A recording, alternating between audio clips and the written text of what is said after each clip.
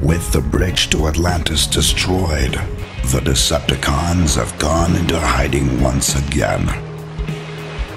Their battle may have been lost, but this war is far from over. We must find the secret power source that triggers the Omega Lock.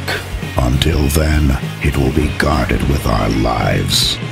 I am Optimus Prime, and I send this message to my Autobots.